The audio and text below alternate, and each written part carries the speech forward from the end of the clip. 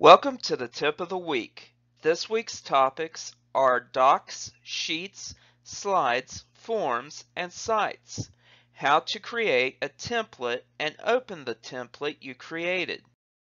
Using templates in Google Apps such as Docs, Sheets, Slides, Forms, and Sites helps you to save time when creating different types of files.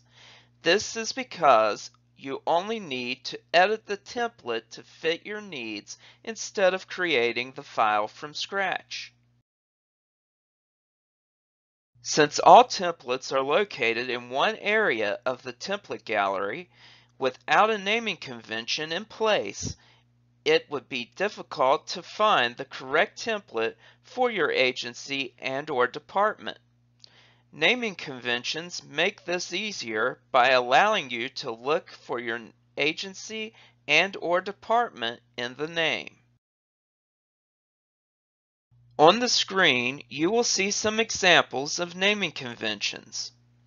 Please note that you will need to adapt them to fit your agency, department, and unit. The first instance in these examples represents Department of Health and Human Resources, Bureau for Social Services, and Child Protective Services and ends with the file name. Before we advance to how to save and upload a template, know these other important points. If you want to use a Microsoft file as a template, it must first be uploaded and saved as a Google file. When the Google file is uploaded into the template gallery, there will be a delay in being able to see and use the file. All uploaded templates are reviewed by the Office of Technology and then made available in the template gallery. First, you need to choose an option for your document.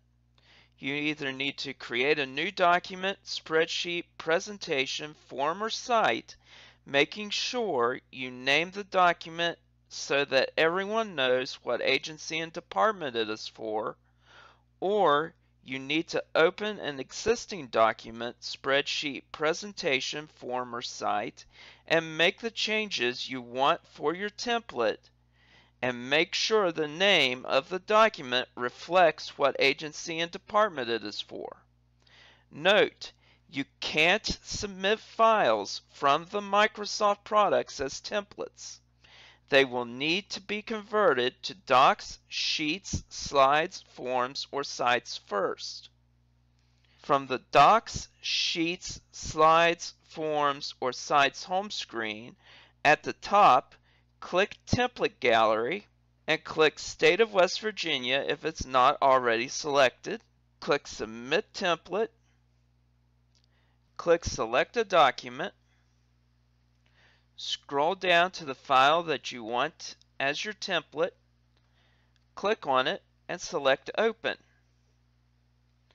Select the category that you want your template to be placed in. And then click Submit.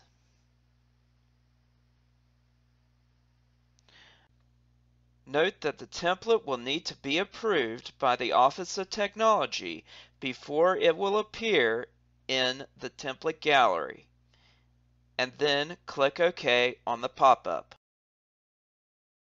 Once the template is approved, it is ready to use. To use the template, you must first open the app that the template is for. Click on Template Gallery, and you will be defaulted to the State of West Virginia Gallery. Scroll down and find your template that you created and click on it to open it.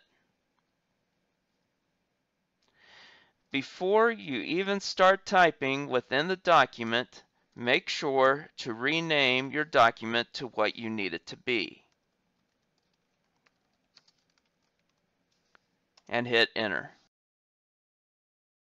Do you have questions about using Google Workspace? There are several resources available. The links and contact information are listed here.